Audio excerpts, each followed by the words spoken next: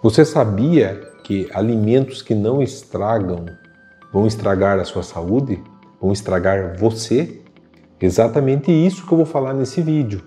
Os aditivos alimentares que a gente nem imagina presente em um monte de alimentos, ai que delícia, gostoso, a gente nem imagina o estrago que ele está causando na nossa saúde. O preço é muito alto que se paga quando se usam produtos alimentícios, alimentos que não estragam. O preço é alto para a nossa saúde. Meu nome é Juliano Teles, sejam todos muito bem-vindos a esse vídeo. Hoje eu vou falar para vocês sobre a importância da gente separar o joio do trigo, da gente detectar o que é alimento de verdade e o que não é. Porque a gente não sabe, pessoal, mas a indústria alimentícia, eles têm interesse de vender o produto deles. E para isso eles colocam coisas sensorialmente maravilhosas que você coloca na sua boca e você tem vontade de comer cada vez mais aquilo. Eles vivem disso, faz parte do show. Só que isso é bom para nossa saúde? Não. Aí que está o negócio, não é bom. Vou dar um exemplo para vocês aqui, bem, bem prático, tá? O xarope de milho invertido, ele é muito mais doce né, do que o açúcar. Bem mais doce muito mais barato. Então é isso que é usado para conservar alimentos, é usado para adoçar bolacha, adoçar tudo que a gente compra em supermercado que não estraga, tem lá xarope de milho invertido e a gente até imagina que seja açúcar, mas não é, no refrigerante, xarope de milho invertido. Quando você come um açúcar, o açúcar é a sacarose, ele tem uma, uma, molécula de glicose e frutose que precisa ser digerido, né? precisa ser quebrado no nosso intestino isso. Quando você usa o xarope de milho invertido, que eles usam na indústria farmacêutica, a gente nem imagina que eles usam, mas a gente acaba consumindo isso, não é 50% glicose e 50% frutose como açúcar, é 55% frutose e 45% glicose. E eles não têm uma ligação que necessita digestão do nosso intestino. Não existe isso. Então, rapidamente é absorvido, aquele pico de glicemia lá em cima, a insulina lá em cima, e muitas vezes as pessoas têm até hipoglicemia reacional. Então a pessoa come daqui a pouco começa a ter tremor, começa a suar gelado e tem que comer novamente. Então forma uma montanha russa. Outra coisa que a gente encontra um monte de molhos, temperos, gelatinas, molho de soja, é o que? Glutamato monossódico. Isso aí é uma das principais causas de enxaqueca. Assim, é absurdo um negócio desse. Ah, mas dá um sabor, Juliano, é uma delícia. Eu como um produto com glutamato monossódico, né? Eu coloco lá na minha comida. Nossa, abre o meu apetite. Inclusive, isso muitas vezes é. Como é que eu posso dizer para vocês? É a narrativa que muitos profissionais da saúde, inclusive, acham que deve colocar na comida das pessoas que estão com dificuldade de se alimentar para melhorar o apetite dessa pessoa. Quer dizer, você dá uma coisa ruim para aumentar o apetite? Não, né? Não pode usar um negócio desse.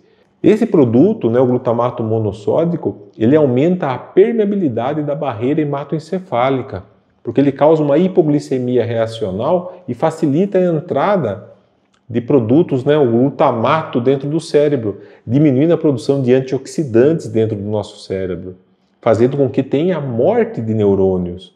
Isso não é bom, pessoal, para a nossa saúde. Fora isso, né, fora isso, a gente vê no nosso dia a dia adoçantes, quantos produtos diet, light que a gente encontra por aí que está cheio de adoçantes que nos fazem mal, edulcorantes que nos fazem mal para a saúde.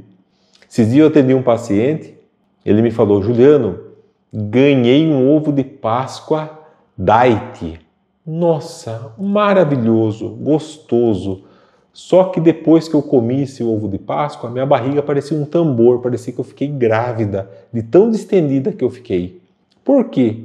Eu falei, qual que era o adoçante que tinha? Ela não sabia me dizer mas provavelmente tinha o, gluta, é, tinha o xilitol ou o eritritol, que é um poliol que causa muitos gases né, na barriga. São os food maps, alimentos fermentáveis.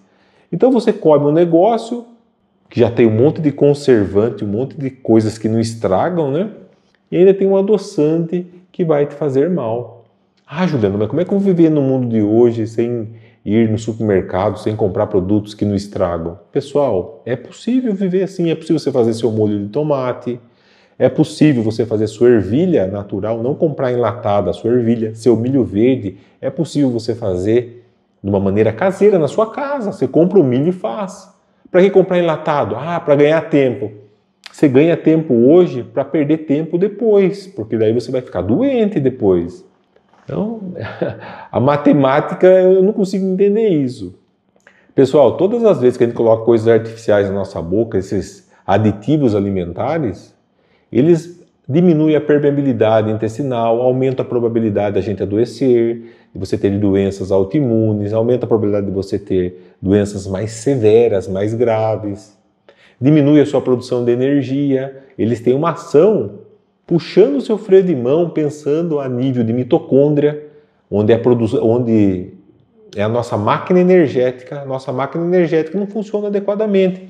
Você está puxando o freio de mão do seu carro, seu carro não está conseguindo andar para frente adequadamente, porque você está usando produtos que não estragam, que estão acabando com a sua saúde, mas você nem imagina por que, que está cansado, por que, que você não consegue ter concentração. Aí você quer tomar um suplemento para melhorar a sua concentração, mas é você que está sendo puxado para trás, porque às vezes a gente nem percebe, a gente está sendo induzido né, daquela maneira subliminar que você nem vê, está sendo, entre aspas, assim, né, você está sendo levado, levado, igual um cordeirinho sendo levado e aí você acaba não sabe por que, que você adoece. O que, que vocês têm que entender, pessoal? É impossível né, a gente ser 100% no dia atual. Não dá para ser 100%. Mas dá para a gente melhorar muito, muito. É possível sim a gente ter uma vida saudável. É possível sim. Existem muitos lugares que vendem coisas boas, coisas naturais. É possível a gente em feiras livres encontrar coisas boas. A gente só precisa ter um olho para isso, ter essa noção para isso. Essa é a dica que eu queria dar para vocês, pessoal, tá? Você quer ter saúde? Quero, Juliano, quero ter saúde.